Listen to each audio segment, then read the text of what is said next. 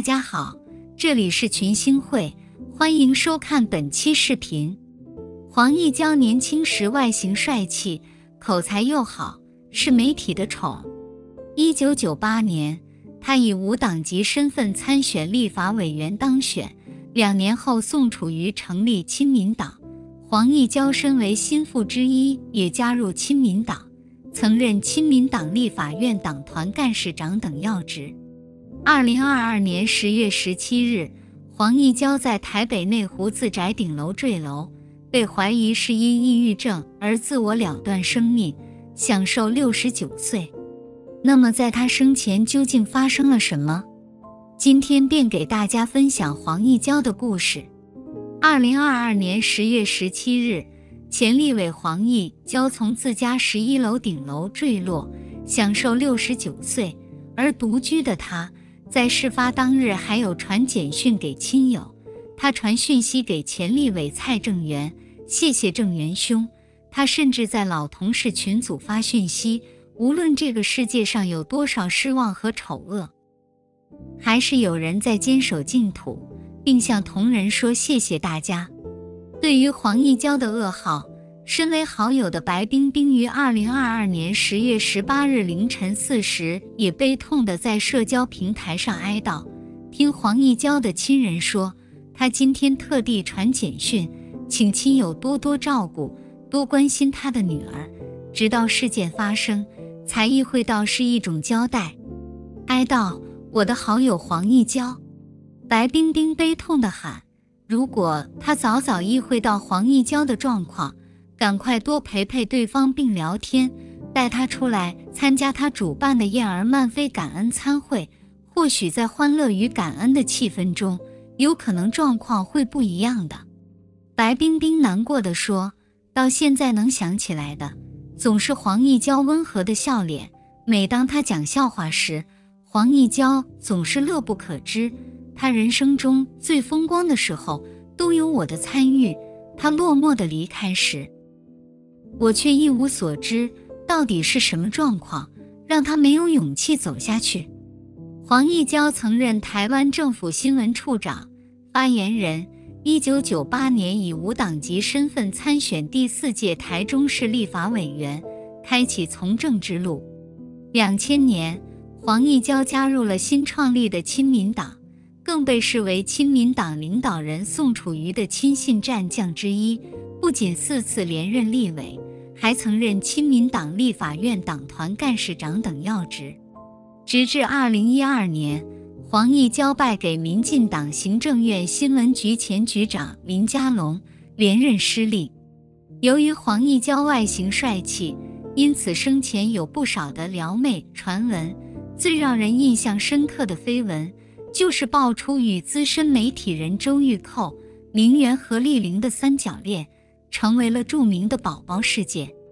据悉，黄义娇对交往的每任女友都称之为“宝宝”。黄义娇和周玉蔻交往时，也与何丽玲有染。事后，何丽玲、周玉蔻联手逼供，周玉蔻还躲进衣柜里偷听两人的对话。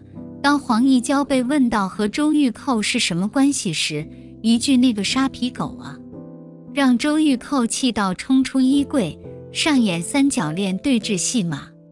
不仅如此，周玉蔻于一九九八年在电台中揭露此事，更爆料黄义娇为了自己的政治前途，要求他放弃当时肚子里的孩子。周玉蔻揭发此事后，黄义娇即遭到亲民党领导人宋楚瑜的降级处分。周玉蔻在两性专家黄月随的陪同下举行记者会，为介入他人家庭公开道歉。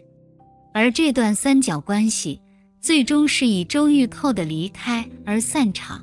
之后，黄义娇和何丽玲持续交往，并公开以情侣之姿站台，直到二零零三年，女方才证实两人已经分手。除了周玉蔻、何丽玲。媒体人黄光琴也被爆出曾是黄义娇的宝宝们之一。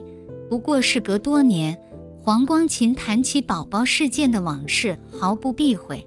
他坦然地说：“心里没疙瘩，早就过去了。”宝宝事件发生后，当时被牵扯的当事人不约而同的各自出书。周玉蔻的《事关政治、性与谎言的故事》，黄光琴则出了一本《黄义交爱情故事》。除了这三人之外，还有史瓦蒂尼国王的妹妹在二零一二年来访时，由时任立法院长的王金平设宴款待。当时就传出史瓦蒂尼公主煞到作陪的黄义交，即使事隔多年，公主被问到此事时，仍不讳言称赞他非常帅，可见黄义娇受到女性欢迎的程度。在黄义娇去世后，何丽玲也在社交平台上发文表示，生命中会遇到很多人，来来去去，有些人擦身而过，有些人一路同行。时间或长或短，却免不了曲终人散的伤感。曾经的相处，开心或不开心，都已烟消云散。何丽玲坦言，七时分开，和他微笑说再见，一别多年，再次听到他的消息，竟是天人永隔，说不惆怅是骗人的。何丽玲说，面对黄义交用这样的方式离开，有伤感。当然还有更多的不舍，但我告诉自己，来去皆是缘，这便是人生。所以能相聚就好好在一起，不能见面就好好思念。何丽玲有感而发地说：“人生很多时候路都是孤单的，那是来自于生命深处最终的荒芜。岁月教会我淡然承受，才是最好的姿态。漫漫红尘。”风雨人生，谢谢他带给我的美好回忆，我会永远怀念他。言语之间流露出伤感之情。而曾经带领黄义交的前妻郑春月受洗，近年也开始带领黄义交认识信仰的台北贵格会非比教会李雀美牧师，在黄义交坠楼不治后。于二零二二年十一月五日，与他的家人为他举行火化安葬礼拜，告别礼拜则于二零二二年十二月十日的下午，在台北怀恩堂举行。回家是黄义娇的渴望，他也答应要回妻女的家，也决心要受洗回永生神的家教会。他也和李牧师相约，要被女儿的施洗牧师施洗。不过。黄义娇仍心情很沉重地谈作家名嘴，舆论若失了良心和真相，有时会逼人一蹶不振。李雀美牧师则是鼓励黄义娇持定信心，注目于神，不要惧怕人的眼光和手指，坚定信心，舍弃救我，信靠神，上帝必会为他开路，必有意料之外的平安和喜乐。不要怕人，要怕神。最后，李雀美牧师激励他忘记过去，努力向前，持着天上的智慧与盼望，对过去的日子要悔改，无憾且感恩；对未来的日子要重生，无惧且喜乐。黄义娇也保证这次要靠毅力胜过忧郁。李雀美牧师也强调，这次不像前两次可以不药而愈，除非圣灵在他身内做主掌权。否则没办法的。李雀美牧师也告诉黄义娇不要硬撑，必要时他可以陪他去看医师。急或不然，千万记得定睛在耶稣，行在真光中，黑暗必会退去。在神怜悯的爱里，永无惧怕，上帝必带你平安地走过沮丧的幽谷。而在黄义娇坠楼之前的半小时，李雀美牧师收到黄义娇的来讯说。谢谢你长期以来对春月和我无尽的关怀与支持，李雀美牧师当时就感觉有一种说不出来的不安感，便立刻回讯，在耶稣里彼此帮补扶持，请不要谢我，单单感谢神就好，因为感谢神，父女亲情是钱买不到的，彼此的伴是永不能割舍的，这是上帝应许要赐福的。随时踏出信心的第一步，你的身心灵将会尝到神同在的灵力。愿神赐福，我也愿陪你们同行。回完讯息，李雀美牧师就马上打电话给黄义娇的前妻郑春月，请他赶快去找他。郑春月第一时间回说不可能，因为三点才和黄义娇分开，他还与女儿约定晚上要修改英文文件。但郑春月仍被李雀美牧师劝服，而去寻找黄义娇。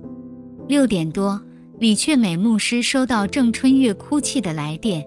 要他快去三总急诊室，没想到黄义娇回家的路走了十多年，只差一步，留给妻女千万个为什么。